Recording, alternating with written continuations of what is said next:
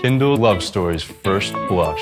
This week on Kindle Love Stories, our first blush is Barbecue and Bad News by Nancy Naigle, coming out February 10th.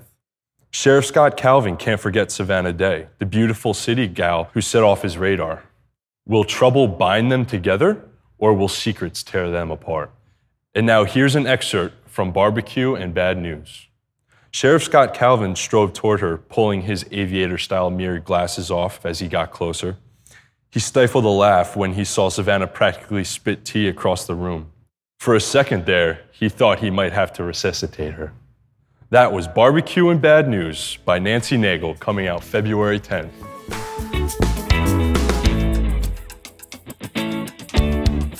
To watch more First Blushes, be sure to subscribe at youtube.com Kindle Love Stories.